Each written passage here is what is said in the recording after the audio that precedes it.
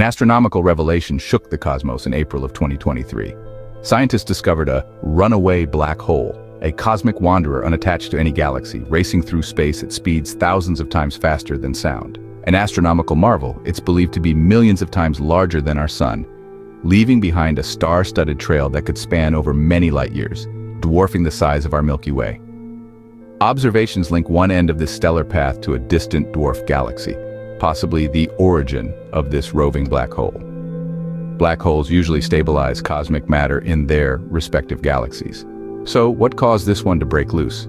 This could be due to a rare binary arrangement where it orbited another black hole.